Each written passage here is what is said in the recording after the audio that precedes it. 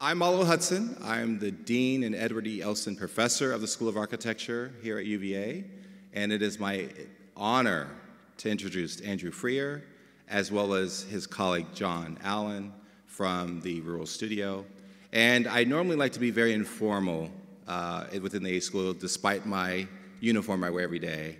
Uh, but I do want to read the citation that we provided for Andrew Freear in the Rural Studio. But before I do that, I would say it's always an honor to have our medalists come visit us, and it's particularly an honor when they share our values. And we have had tremendous medalists over the years, as you all know. And so uh, Andrew Freear and, the Rural Studios fits that bill so well.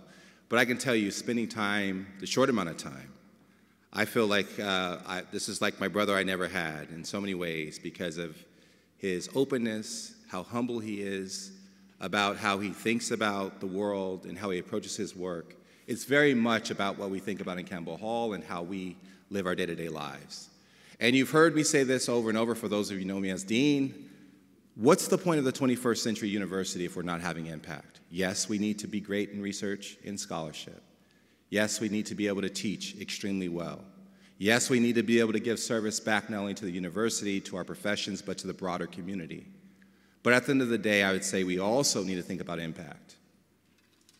And I can't think of a better uh, group of people to come that really represents having an impact. So let me dive into the formal uh, aspects of the lecture today.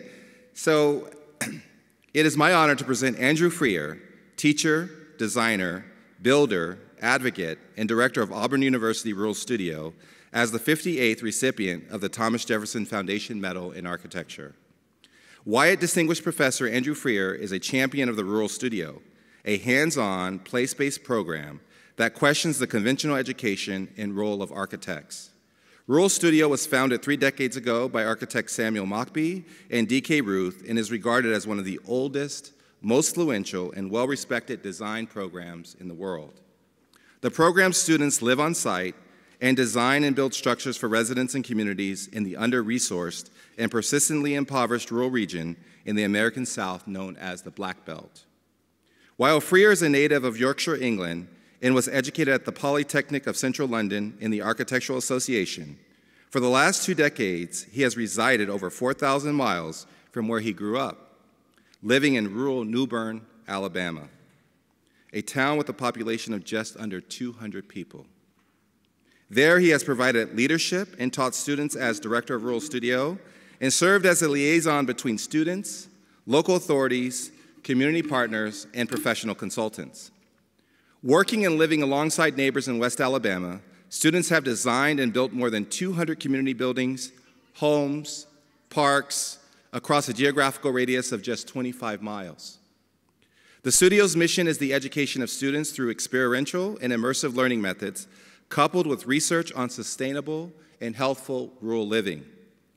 Projects for Newbern have included the volunteer fire station, a public library, many family homes, and a town hall.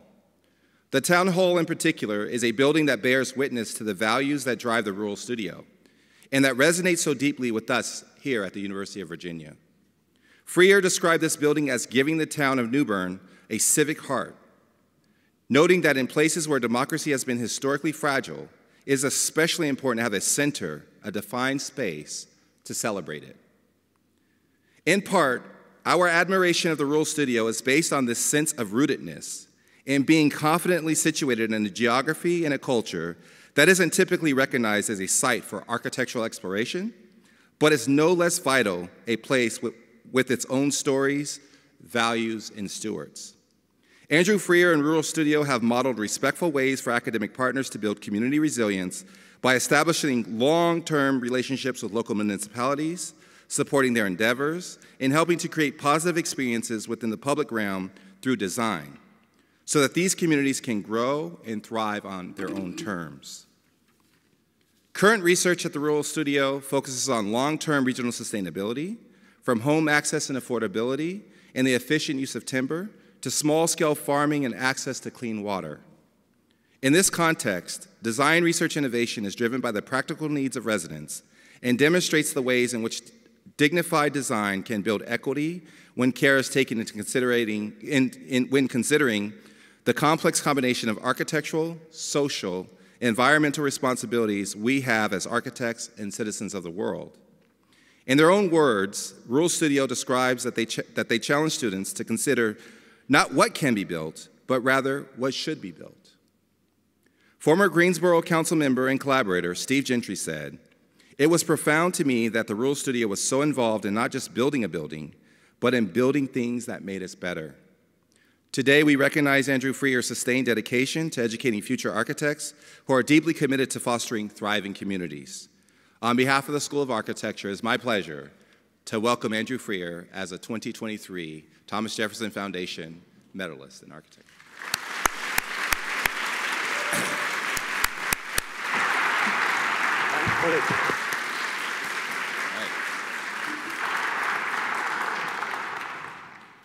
Okay. Wow. Um, Thanks, Pal. That was a, a beautiful invite and introduction. Um, obviously, thank you to the Thomas Jefferson Foundation and also to the University of Virginia. I'm hearing myself twice, am I? Or hello, hello, hello. That's better, is it?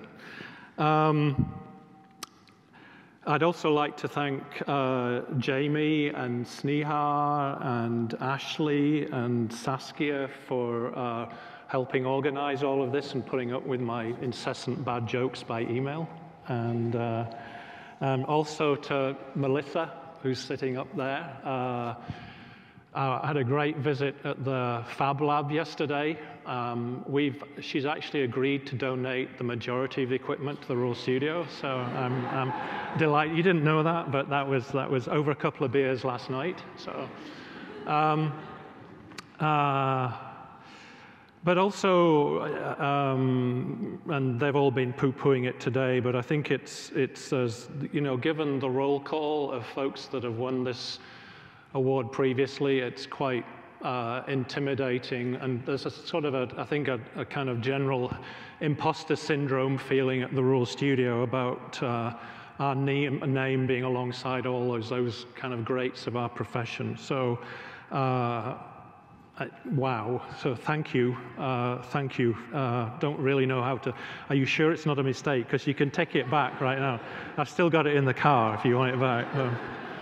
Um, but we're also um, very happy to use the award, the award as a kind of uh, a general kind of shout out for the rural um, and to kind of raise the issues of, of rural injustice relative to the urban condition. I think we should all be looking and thinking about rural and urban conditions as a symbiotic relationship, not as a kind of a, um, a, a, a kind of an extraction condition. Um, and I think we also would be kind of folks that would say that um, good design should be for everybody anywhere. Um, again, that, that design should not just be for cities, but perhaps can be kind of for the rural as well. And, um, and it also shouldn't matter your, your income or your wealth, quite frankly. Everybody deserves good design. And, and also to say that housing does matter. Um, our country, your country, is in a kind of a, a, a massive, quite frankly, disaster at the moment in the the, the, the amount of housing need that exists out there, it really should be um, on the political consciousness, and it's a shame that it isn't because it is so important to have dignified and affordable housing for everybody. And I think that we would want to be shouting out for that. I mean, I don't know if you all know this, but there, it, it seems to be like a basic human right to have a parking space. You Americans have eight parking spaces per car in the United States, but you don't have the right to good, decent housing, and it seems that's perverse to me. So, you all, as you, you know, young lady at the front, as you grow up, you should be shouting about housing for everybody because it's really important. Um, I, um, I, I, think, I hope today uh, that uh, next year is our 30th anniversary. Good God, the Rural Studio has been around 30 years. Um, I've been around for 23 of them. Um, Obviously, with my silly accent, I'm kind of an insider and an outsider and an insider. Uh, I can get away with saying some things that you Americans can't. Um, but I hope that I bring a perspective to the work tonight that maybe isn't seen in the magazines and the books. Um, I hope to show you the process that we're involved with at the Rural Studio. Um, to say a few things, I think you all should understand that most of the work that you, you see tonight is, is made and built by, and designed and built by folks between the age of 18 and 23 year old, three years old, and we're simply the handholders there. So young folks can kind of start to practice what they can, what they will practice what they will practice, if you like.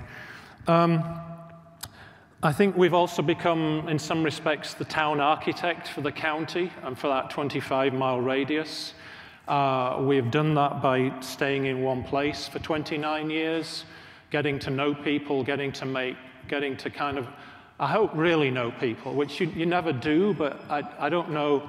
Most architects will go to another place and build something and then leave, or um, uh, you know, architecture programs often will go off to other countries and build something. And I think the question for me is, with, with anybody practicing as an architect, how do you know if you've actually done what you were trying to do? Have you achieved anything with it? Or was it, was it a, a massive failure? Or, or did it work out well? And in Hale County and in our situation, we're surrounded by our work. And of course, if we do okay, we don't hear anything about it. But you know, if we screw up, you can definitely you, you should know we hear about it. So, um, I think uh, as as the Dean said, uh, we, we, we, ask, we have the luxury of asking some ethical questions. Uh, this question of what, you know, very much a School of Architecture, and it, it is and should be about what, what can we build, but I think we like to overlay that with what should we build. Um, and I think what we do try to do is take responsibility for our successes and our failures because we're a member of that community that we're building for. And we do ask the students, we, we really say one thing to the students at the beginning of the year. We, uh, we ask them to just leave the place just a little bit more than, bit better than they found it. They're kind of borrowing the place. And that, that's not, they don't have, we, we don't want them to come and preach. We don't want them to come and save the world. We don't want folks to be told how they should live their lives, but just try to leave it an incy, bit, incy wincy bit better. That's much better. Thank you, whoever did that. Um, um, I hope also uh, all of the projects that you'll see tonight are actually, uh, it's all teamwork, so that we, in, in, a sense, we practice what they, they practice what they will practice. It's not individuals, we, everything we do is team, and us as teachers are part of that team. Um, I hope tonight you will see a kind of very positive critique of how we teach, procure, and make architecture. It's pretty amazing what 18 year old folks can, can do if they're given the opportunity. Um, and I hope that I uh, kind, of, kind of convey the kind of pure, unadulterated joy in the act of creating and making and designing, because it, it's what you all are doing should be fun, and we find it fun, and we laugh at the place and ourselves all the time, and we laugh at each other all the time. Um, last thing I would pray for, that you all do is that you laugh at my jokes as well tonight, or it's going to be a really fucking long evening, okay? Uh, oh, they are alive out there. That's good. Um, uh, before I get on with this, um, I do, as, as uh, the boss down here suggested, John Allen is, in the, is up front here. Give John Allen a, a big round of applause. He is. Uh, I, okay, not, not, not too much. You've got to keep him in his place, right? He's, uh, he's our head of operations, and uh, he basically does all of the shit that I don't want to do and allows me to waltz around the world and act like a diva, like I do. So thank you much, John. And the other person I want to acknowledge is my beautiful girlfriend over here, Emily Newstrom. And this is a, uh, an unabashed, unashamed advertisement. You all, by the time you leave tonight, I, you can stop listening to the lecture. I need you to go on Apple or on Spotify, check out Emily Newstrom. Uh, just launched uh, an album called uh, No More Jambalaya, and it, is fantastic, okay? and uh, you'll need to buy it. And uh, even better, go and see her uh, in uh, Festival International at Lafayette or in the Blues Festival in Biloxi in the next few weeks because she's super. I'm biased, but, uh, and I'm done for tonight. Thank you very much. I'm going. Ha ha! Uh, unashamed. So uh, for the rest of this, it's like, why let the truth get in the way of a good story, right? So, okay, uh, yeah, please get on with it. So um, I come to you, not exactly today, but a couple of days ago from this place. This is Newbern. Uh, as, as, the boss said, um, it's about a town of 178 people within in the city limits. Um, it, just for a geography lesson for you all, because I know you're like, oh, Alabama. where's Alabama? Well, Alabama's here where the Red Cross is, predictably. Um, uh, we're at the bottom end of the Appalachian Mountain Trail, and um, we're in the place known as the Deep South. But don't, don't believe all the stories you hear about Al- Alabama. We're also in a place called the Black Belt, and um, the Black Belt is. Uh, it's a kind of an extension of the Appalachians, and it, it propagated this beautiful black soil. It's not because there was a whole bunch of black folks live there, but it was this beautiful black soil that also, of course, propagated cotton. Um, unfortunately, most of that, that soil has kind of either been dissipated uh, by uh, over, over farming or or just literally has washed away. Um, and it's left us with this kind of expansive red clay that I'll tell you about a little bit later. So we, um, we work, I need a stick, we work in the kind of civil rights triangle of Birmingham, Selma, Montgomery. The university's on the east side and Rural Studios on the west side. So that's, that's a deliberate strategy to keep away from like grown-ups like him so we can make a mess and they call up and say, We're going to be four hours. So we all scamper around tidying the shit up in four hours.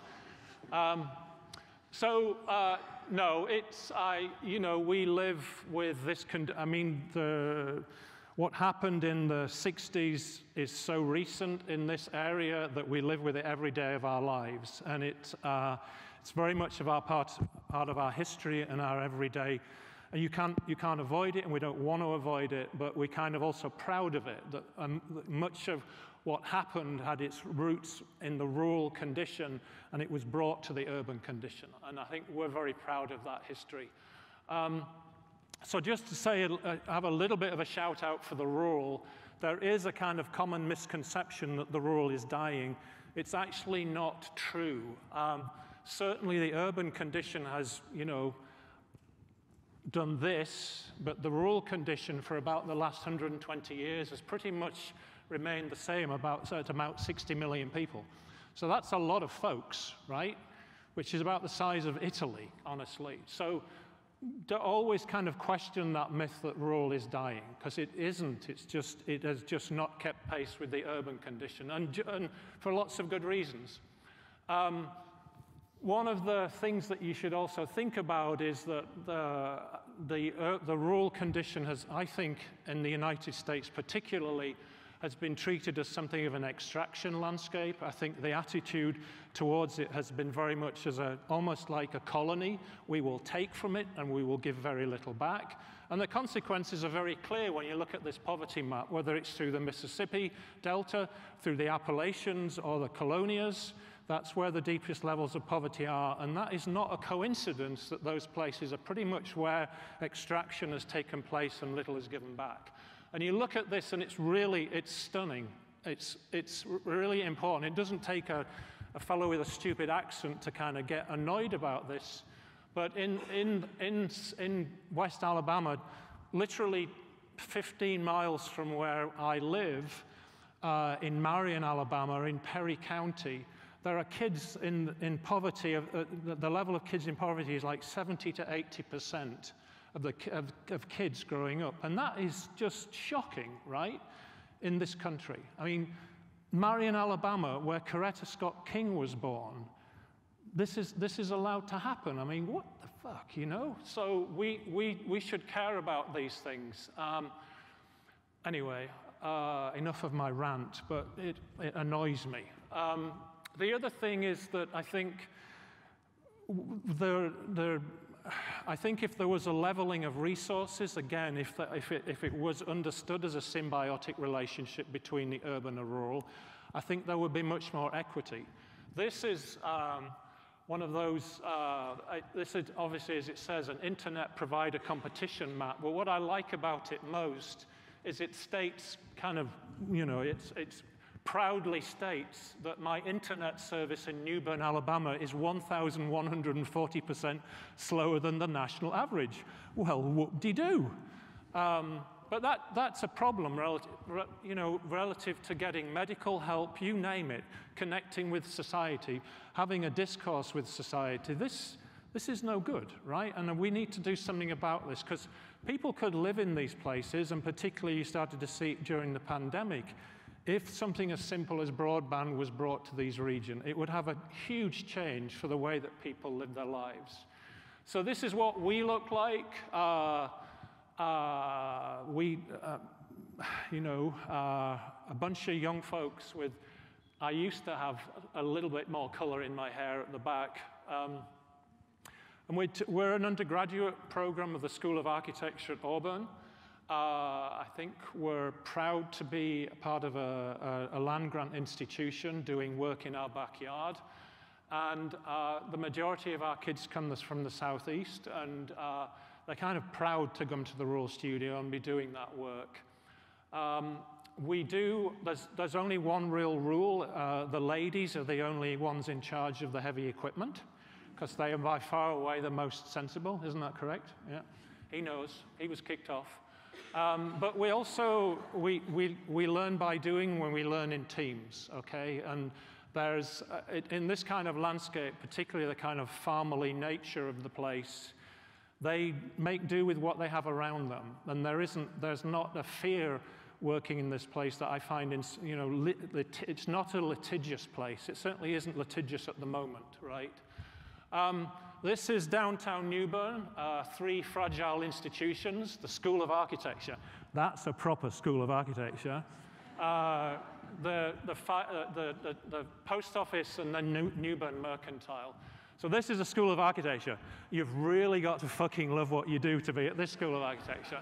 Um, uh, and we just say, well, this is, this is an environmental study for y'all, you know?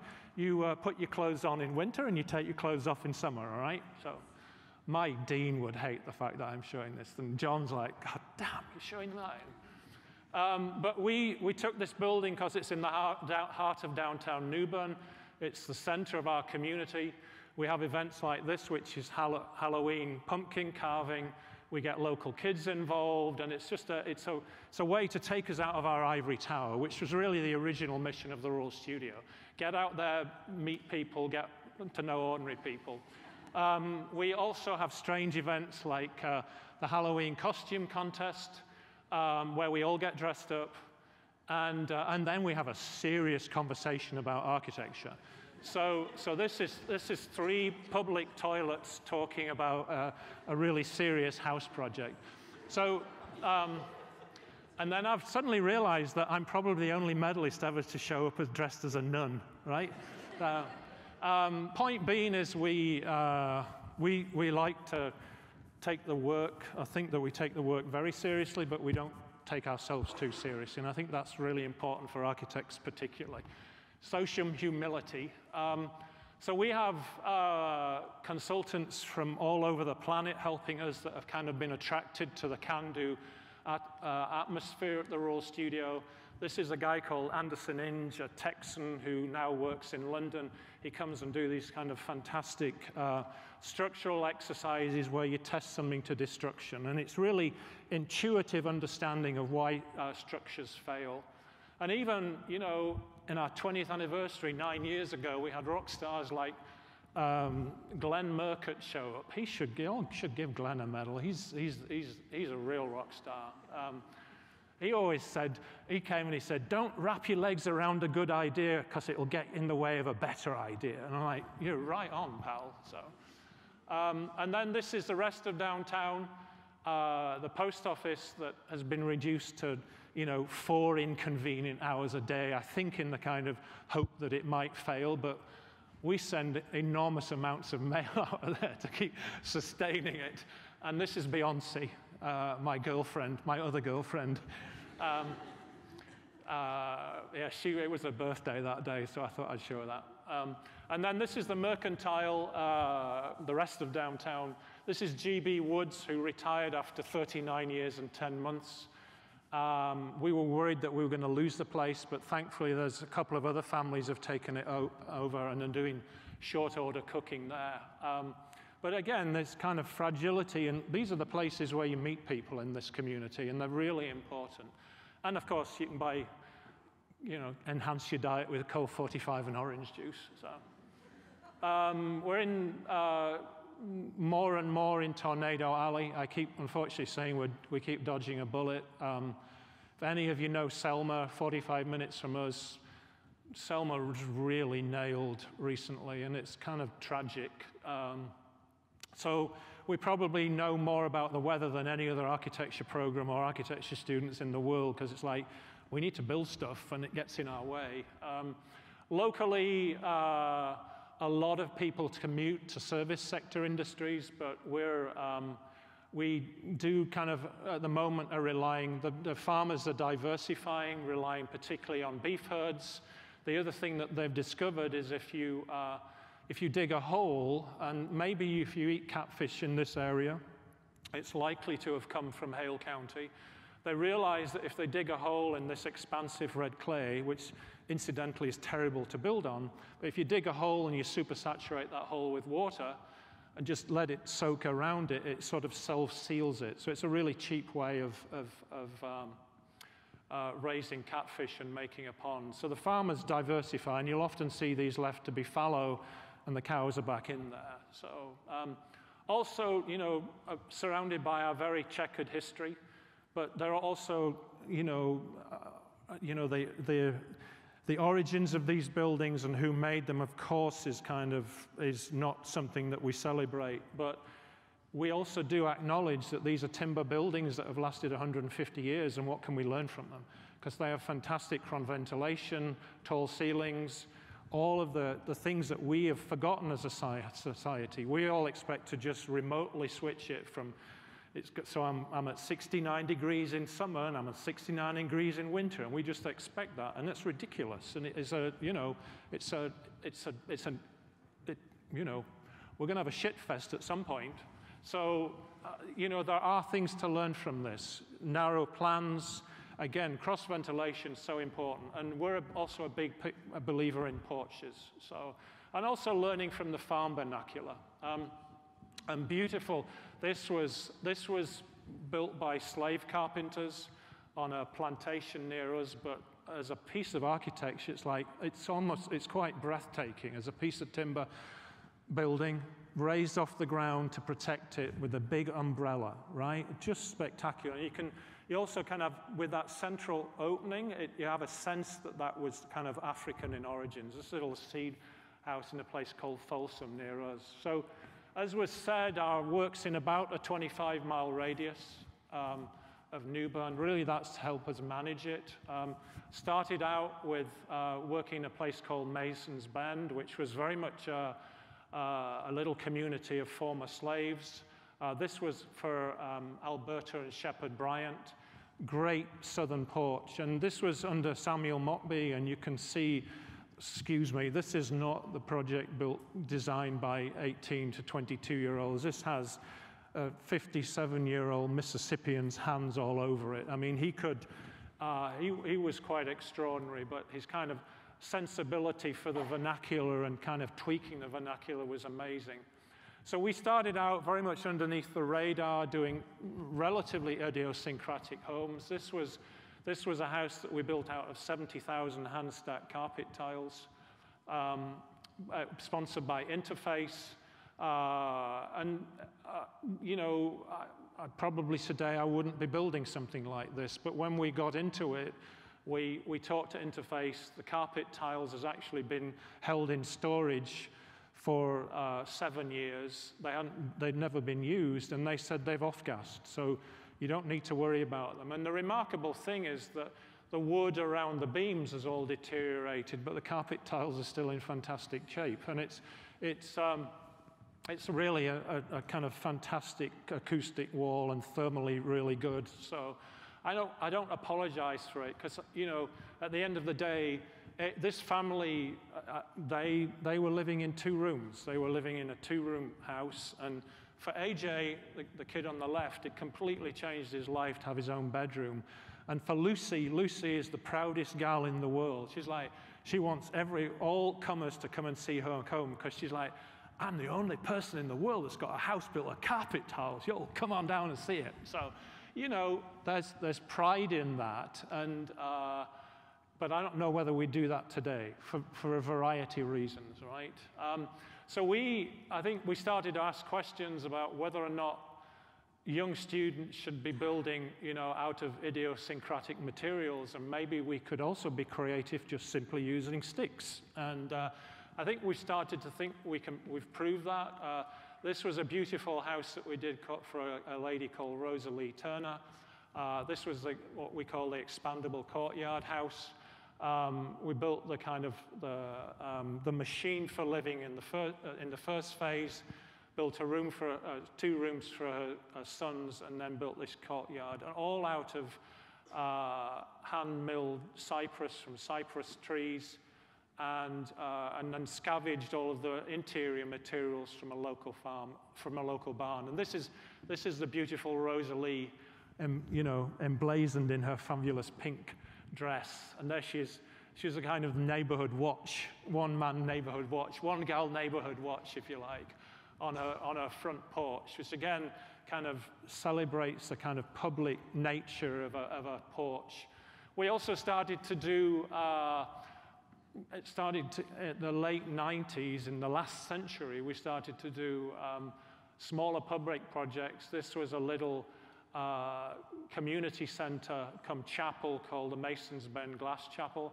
This is actually uh, Chevrolet Caprice windows on top of a metal frame that sits on top of a rammed earth wall. Here's the kids, they drove up to um, Chicago to, to rob the local, the, the, the, the wrecking yards of the, these windows. And the, the nice thing about the windows was that they actually had a pre-drilled hole in them, in that, in that glass, so they were able to attach it to a frame.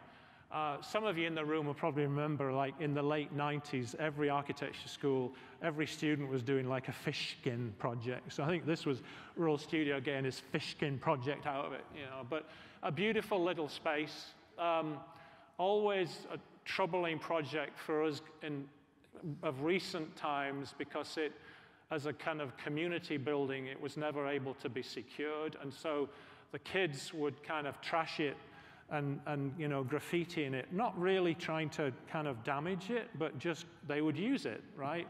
But then you all would come and visit us and go, well, don't, you, don't the community care about this project? And so you, you kind of learn lessons about that, that there's like, you know, be careful with that kind of condition because you might unknowingly produce a real problem.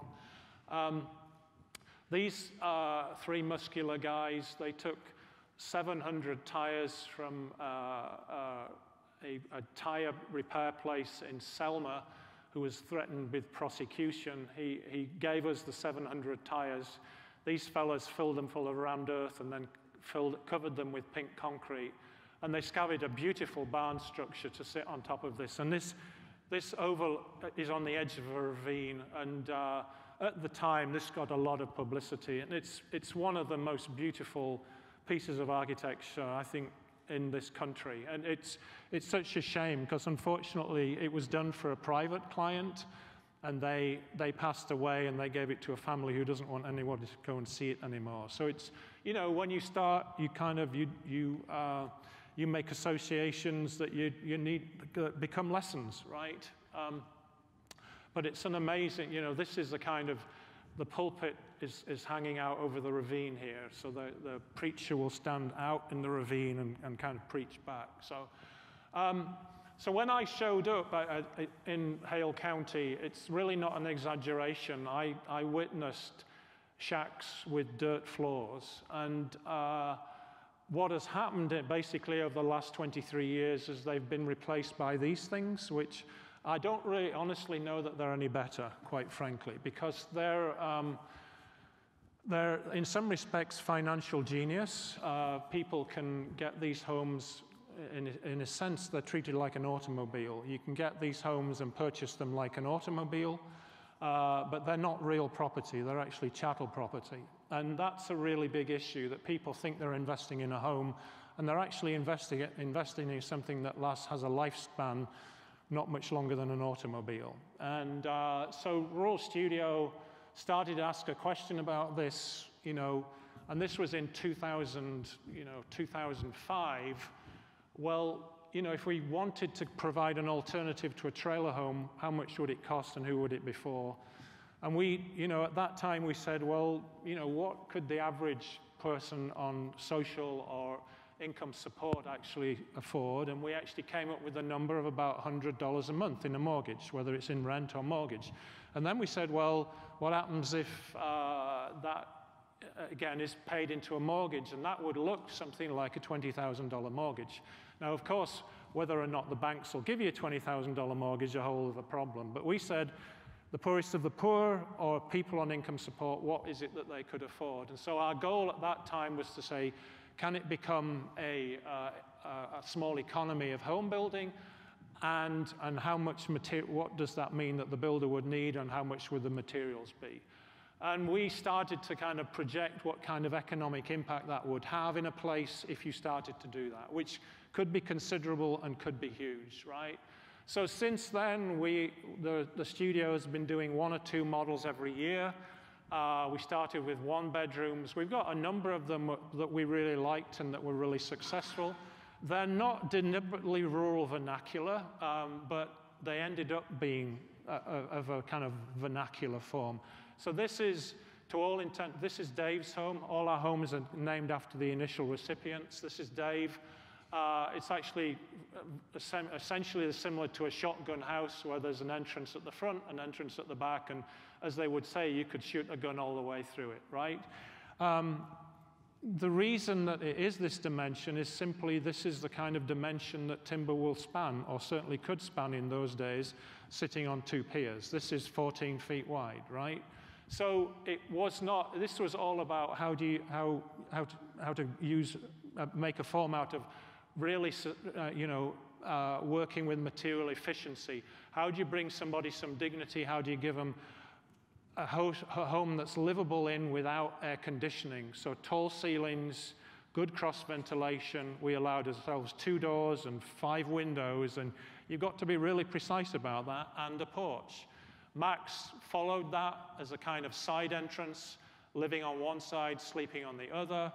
Uh, again, not rocket science, but you know, nobody else is looking at this as an issue.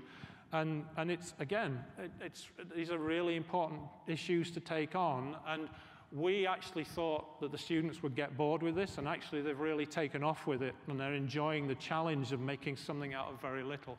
This was a square house that we did for Joanne's. It kind of proved the point that if you have the same perimeter footage of uh, exterior footage uh, in, a, in a circle or a square form, you actually have a larger square footage internally. So Joanne's is actually bigger simply because it's more of a square than the other two were.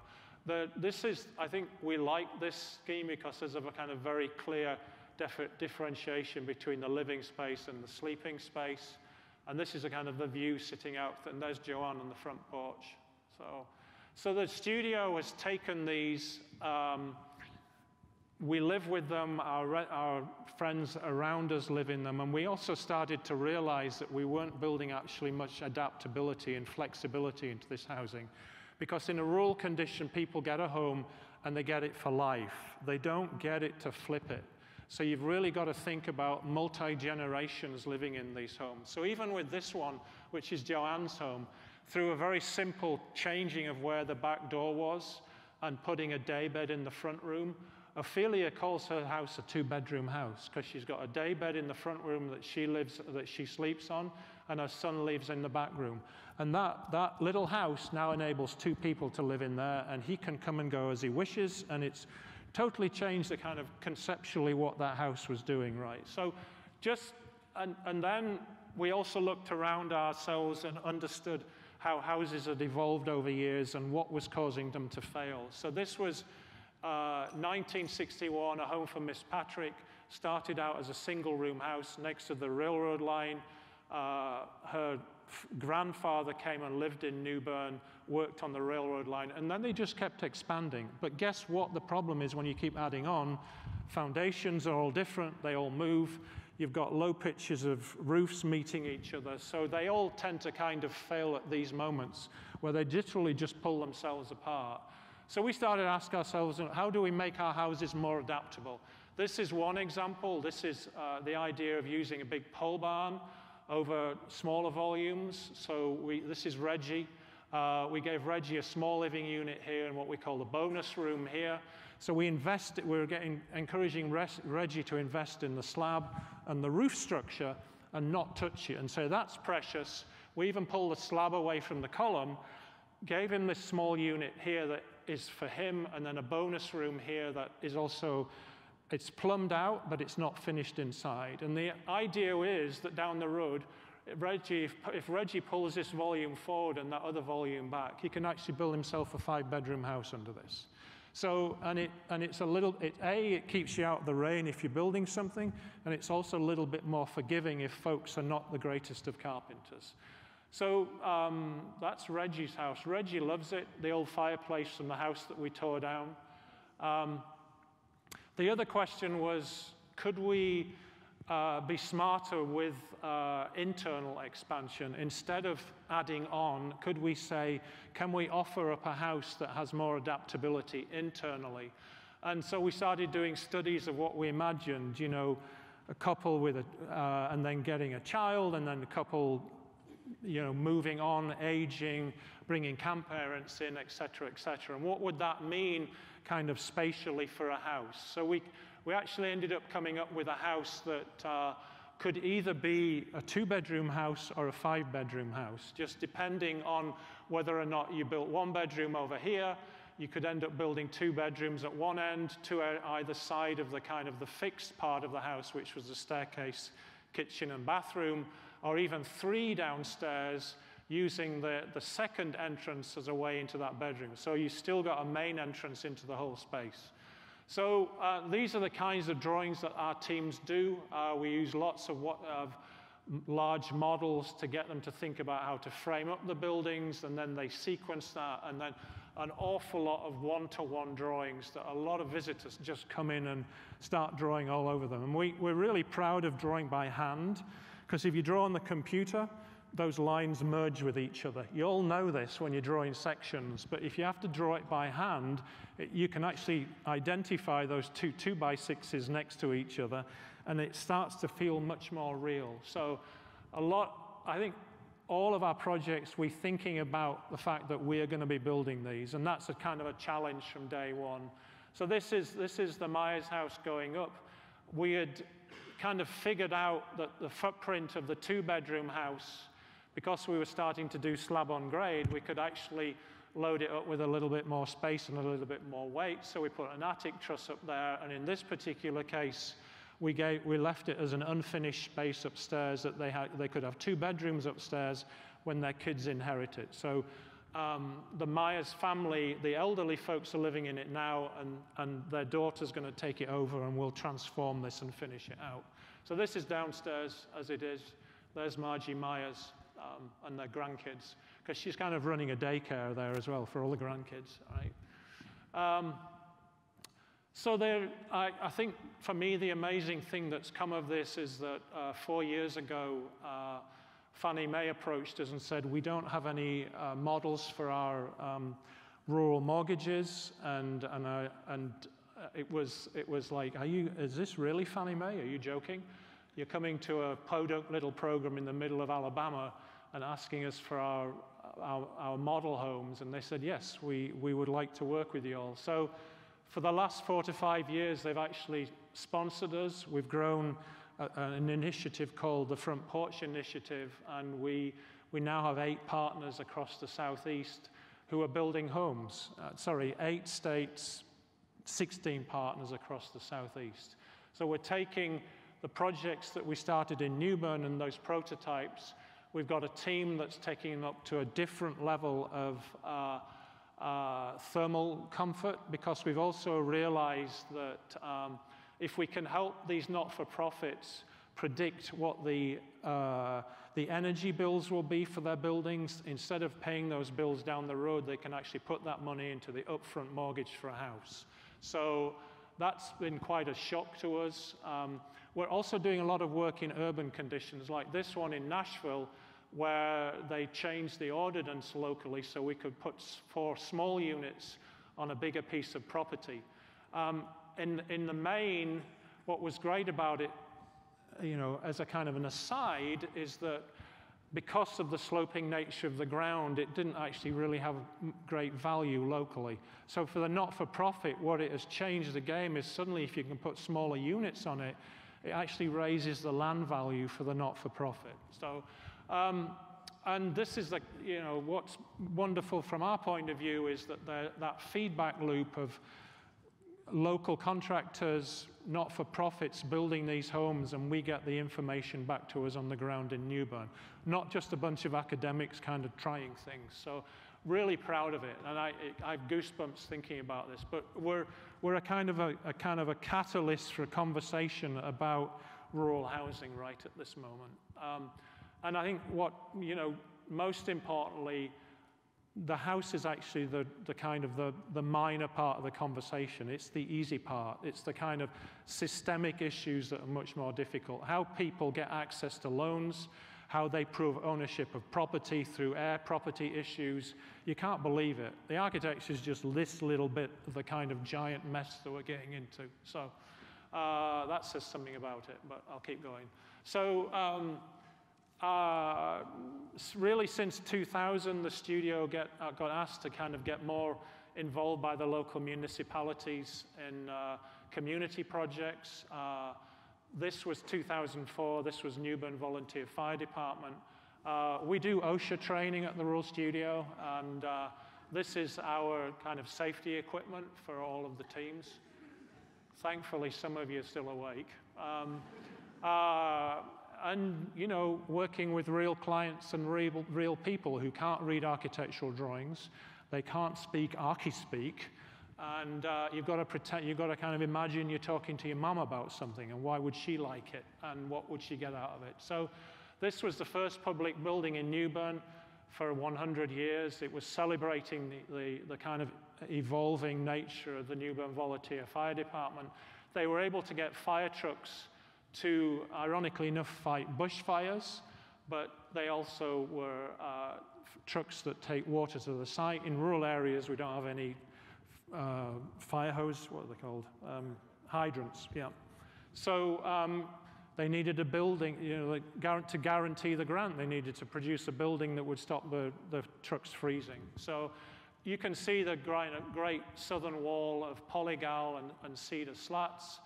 Um, this was actually at the opening. Uh, tremendous thing for our community. Black folks, white folks, Mennonites, everybody was involved with this. You can see that great southern wall of polygal with the slats that top, stop the summer sun coming in but let the, the low winter sun in. The concrete slab that uh, acts as a big thermal mass and their big, their proud Newman fire truck in the front.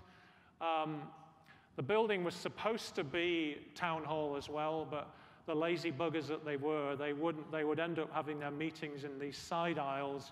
They wouldn't move the trucks out. And in the height of summer and the depths of winter, it was like, it was just a little bit too cold a little bit too hot for democracy. So uh, the, the mayor came to us and said, can we get involved with the, with the town hall? Luckily, all of this property was owned by the town. When they cleared the land for the fire department, there was obviously some tree huggers in the, in the fire department who, said, who stopped them tearing the trees down. So we simply suggested that there was kind of a little brother built next to the Big Shoulders firehouse. And uh, so this is the town hall. It's built of 8 inch by 8 inch cypress logs, milled, from a, a swamp in North Alabama. This is the student team dressing them. And they're literally just stacked on one on top of each other with threaded rods running through them, just like Lincoln logs. So the beauty of it is, and this is typical, every project has to do a full-scale mock-up. Uh, in this case, we did the large opening because structurally our engineer was concerned about uh, this, the ability to span this. And uh, so this is actually cambered just a little bit, and then we loaded it up to IBC and, and, and measured the deflection on this when we put all the muscles on top of it. So um, uh, a lot of mock-ups we do at the studio to test things. This was probably the biggest meeting we ever had at the town hall, which was about the reducing of hours of the post office. But you can see the, the um, the walls are made of 8 inch by 8 inch rugs, and you can see it. So it's not layers of stuff that's kind of thin and temporary. This is material that's from around us, and you know what it is when you see it, right? So the big challenge of the project was understanding that the building would actually shrink three and a half inches over its nine foot height. So what we ended up having to do was mount the windows on the outside face so that they could, you know, if you put a window in the opening and it, and it shrinks, what's going to happen to the glass? So we mounted it on the outside, the windows, which is beautiful because it means that you can actually see the 8 inch by 8 inch cypress logs for what they are. And then, uh, so there's the view, this is the council chamber. Uh, here's a view to downtown Newbern and to the Mercantile. So we were able even when we were building this building, we pulled some tables out onto the site and framed up these openings and said, Mr. Mayor, come and sit here. Is this the view that you want? So, um, so these gals were bugging me for about four years to, to help them with a library in Newbern. Uh, three of them were school teachers. Um, uh, thankfully, we all have gray hair, uh, which was nice. Um, and this, um, this was the old bank that was closed in the 1920s, a very loved building. Uh, and I think the, locally they were a bit nervous about you know, the Rural Studio doing something wacky with it. Uh, we decided not to do that, uh, put an awning on the front, uh, celebrated the bank vault with the bank vault door, pulled the bank vault door to the front, took all of the bricks from the bank vault. And what we, what we also found in, in looking at this building was there was a crawl space underneath it, and the two roads around it were higher than the crawl space. So we opened up the floor originally and found a, a, pond underneath it. So we, and, and the bank vault itself was wicking water up into the space. So the last thing you want in a library is humidity. So, so we took all the bricks down and uh, you'll see what they became. But this is, this is the kind of celebrating books and celebrating reading, the big kind of reading space, getting everybody together. And then there's these small nooks. Uh, this is the kids' nook, and then this is the garden nook, using some of the materials from the old bank. And then the courtyard is made from all of the bricks that we just literally stacked on top of each other to make this kind of lovely outdoor space. The main impact it's had on Newbern is bringing broadband into the town. So that's been a really big deal. And the after school programs because they also, the, the year it was finished, ironically, they closed our local school, so all the kids are bust now. But, uh, so we work with remarkable people. I mean, those gals at the library are extraordinary people, getting up at four o'clock in the morning to go teach, and then coming and sitting about and talking about the future of their library at seven o'clock at night. And that just gives me goosebumps to work with those folks. This is uh, Theresa Burroughs. Uh, she hid Dr. King from the Ku Klux Klan two weeks before he was assassinated. Uh, she owned this house. King was hidden in this room. They were given this building, and she decided to open uh, a, a, kind of a, a, a, small museum to kind of monumentalize that day, but also to monumentalize the, the, uh, the foot soldiers that she called them in the, in the rural movement. Um, so we took this building, this is how it existed. Uh, and we, we basically stretched one side of it and extended the, the, the, the right-hand side. We, we refinished the front two buildings and just extruded them. We made a very democratically accessible sloping ramp into the back door and then this kind of this courtyard space with a glass connector. Because Theresa said, I need you to make this building so it has one entrance and can be controlled by one person. I'm going to die. It needs to have, you know, didactic panels, self-guided panels, and we also need a space for local artists to come and exhibit because people will only visit this place one time. So I need something that will change to attract them back. So really smart, really clear, very honest. Um, this is, uh, we fritted the glass on, on the west side. Uh, all of these are local folks who are involved in the march to, from Selma to Montgomery, so we kind of monumentalized that. And then we found, we took off some of the drywall and found these beautiful boards inside and said, Theresa and the board, do you all like this? Because we think it's beautiful, but we didn't want to patronize them with, it was like, you know, one man's art is another one's trash. It's like, you don't, you don't patronize folks. But they were like, yeah, this is spectacular. So really all we did was trimmed it out and sealed it. So you can see how, what a lovely space this makes as a little community space. And then the students made didactic panels um, as a self-guided tour for the space. Uh, it's, it's really difficult. The spaces are so small, but there's also these amazing mugshots of people from all the locals that were arrested for marching. And you get folks going in, kids going in there going, that's, that's my grandma. I didn't know she was arrested. And they were all like, people didn't tell their kids and their siblings that they were arrested because they were embarrassed about it. Like, God damn, you know? Um, so, um, and then this is that extruded, extruded space with the, uh, as an art gallery. So we put uh, a, a, heated floor in there and took the roof up all the way to the gable to kind of show the difference between the two spaces. Here's Theresa. Here's some of the foot soldiers, our team of four. Uh, Chris, the three C's, actually team of three, Chris, Cassandra, and uh, oh, three C's, Chris, Cassandra, shit, I can't remember that, I'll tell you. Um, but just an amazing day, honestly, and we have these ribbon cutting ceremonies. So started doing uh, projects that were phase projects. This was a project in an amazing place that had, had a kind of beautiful cypress swamp. It, uh, it had been a park during the Works Project Administration. They closed it in the 70s the local politician came to me and said, reopen the park, William, we'd like to build all these projects.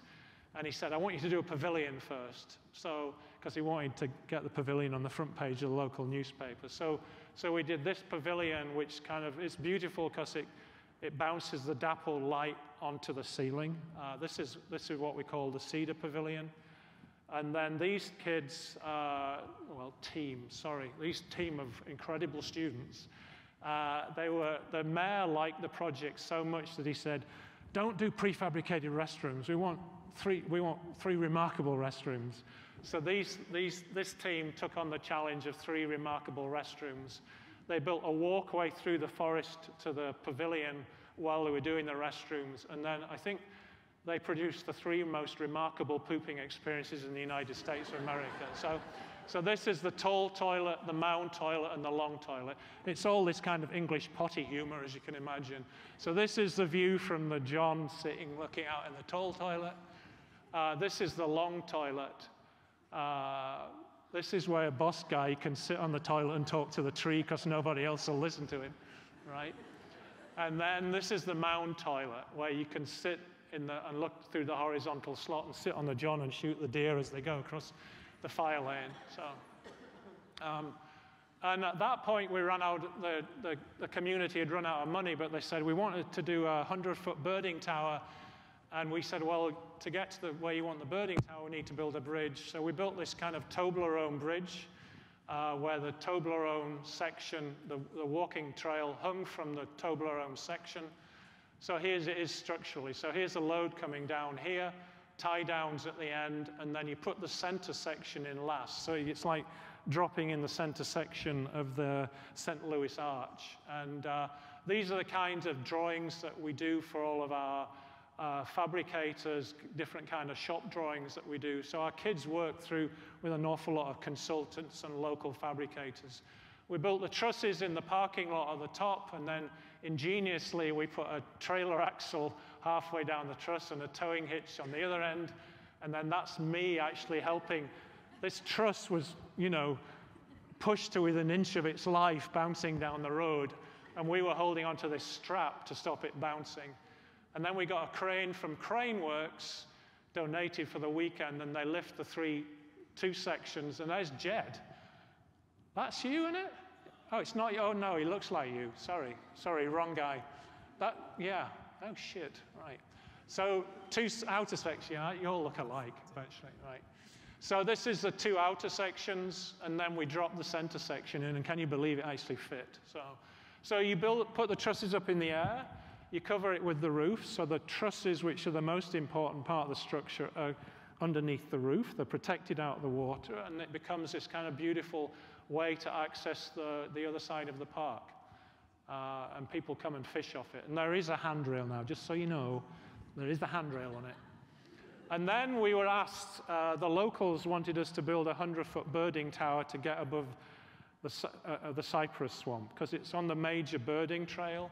And uh, so we tried really hard to build it out of wood. And, and then somebody showed up and said, Why don't you just get one of those disused fire towers and, and, and do that? And we're like, Oh shit, okay. So, so within a week, our student team had actually got one for 50 bucks.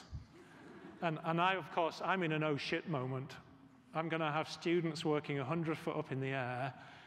I wouldn't get away with it today, of course, you know.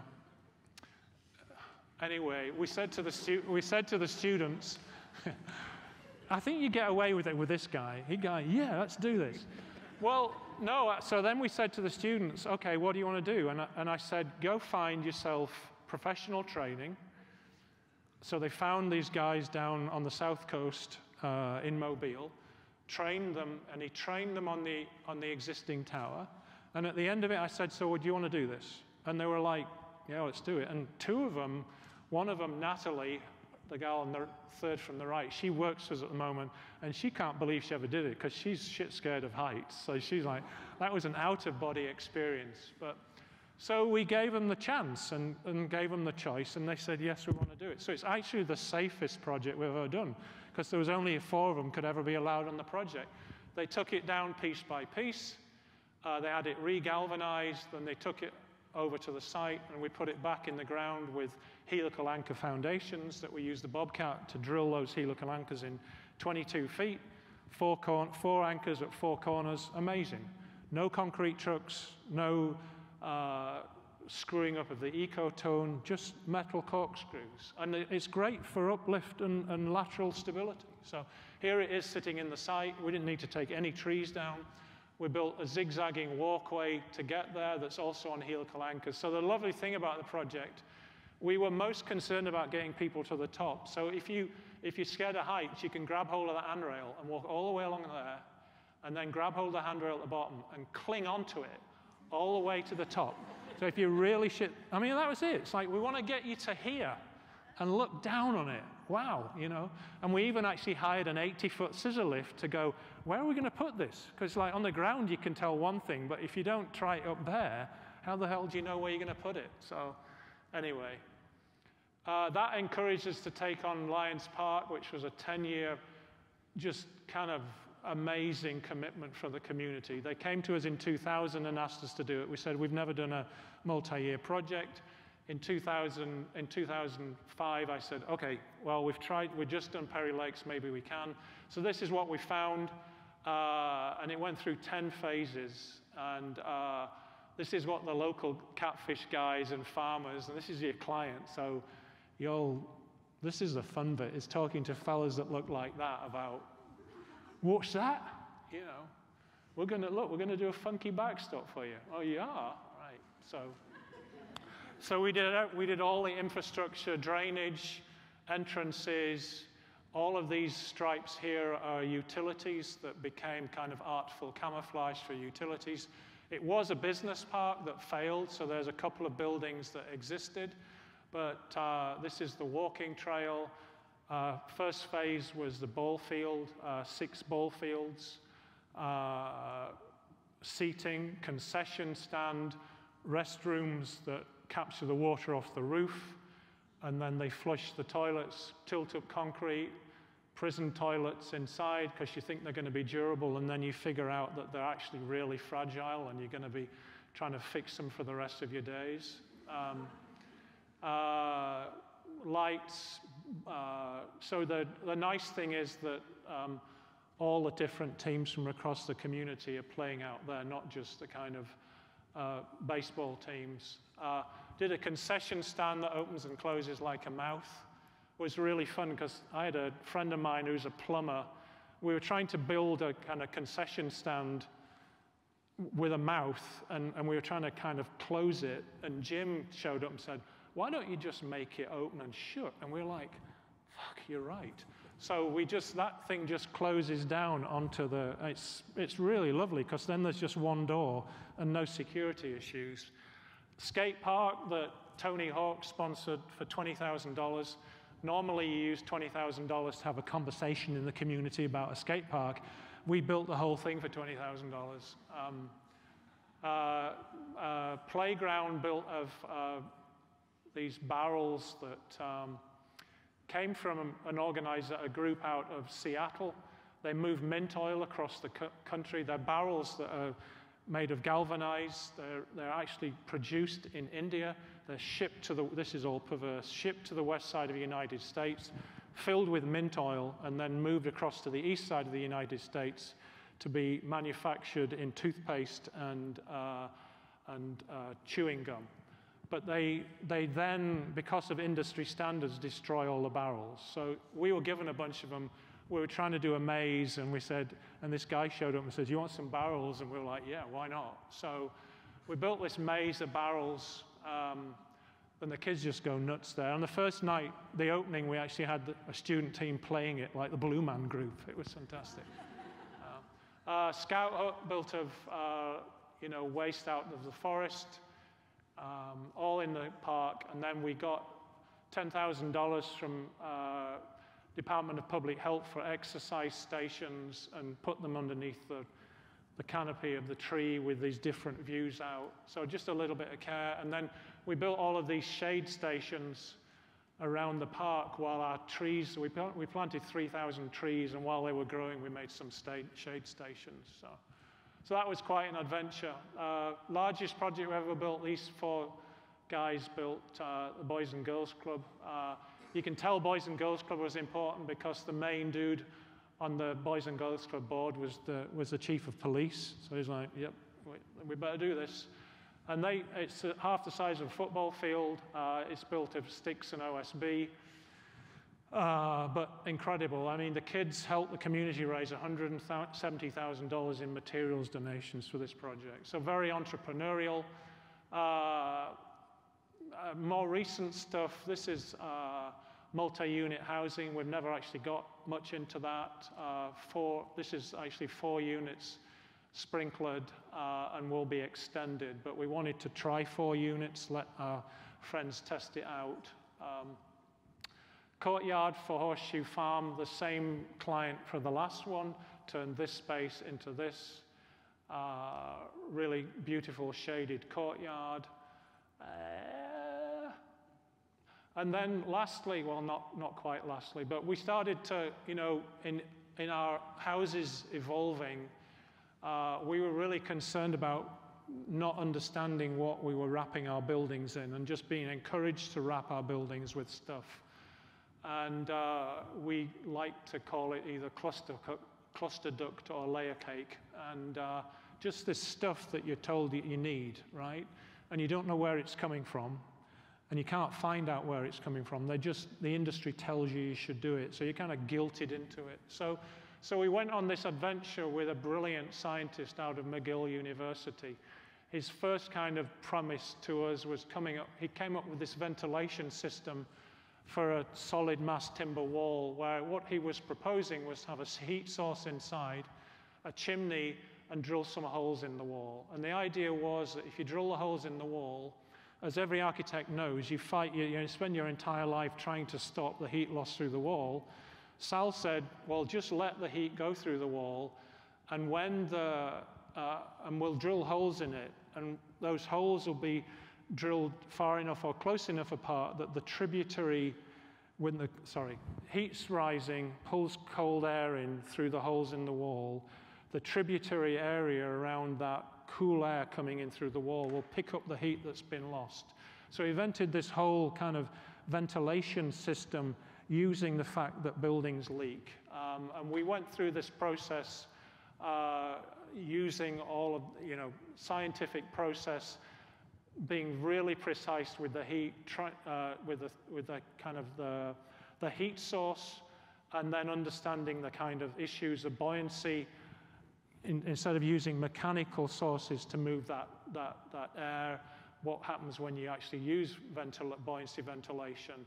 And so it ended up coming down to, uh, we, at the same time, we would, we would, the idea was that we would test this at large scale, drill some holes in this space, stack the timber, and then drill the holes in the wall. So this is this adventure that we've gone on. Uh, this one is not finished, nor is this one, uh, which is us again uh, testing.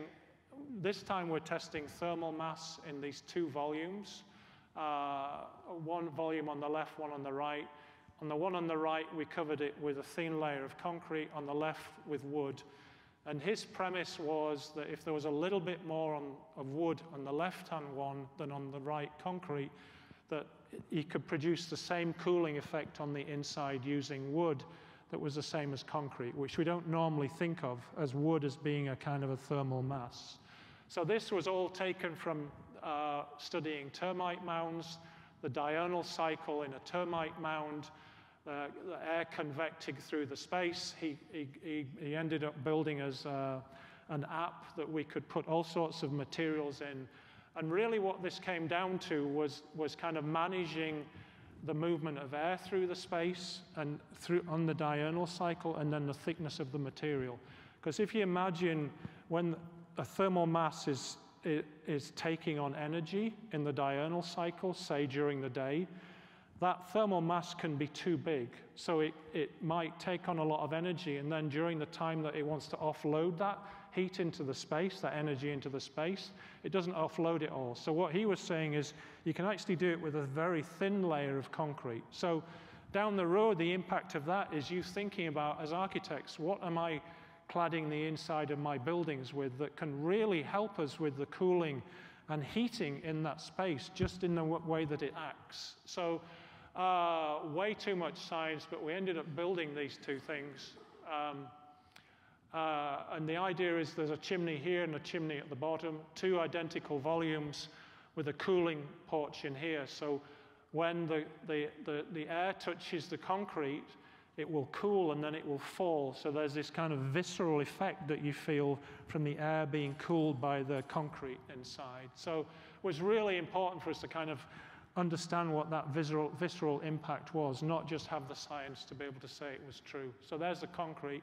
What he said was that if you wrap the walls with concrete uh, and then wrap the other, build, the other volume with wood on the ceiling and the floor, the premise is they will act exactly the same and that there will be the same amount of cooling in that space. So we're right in the middle of testing all of that. So really, I'm close.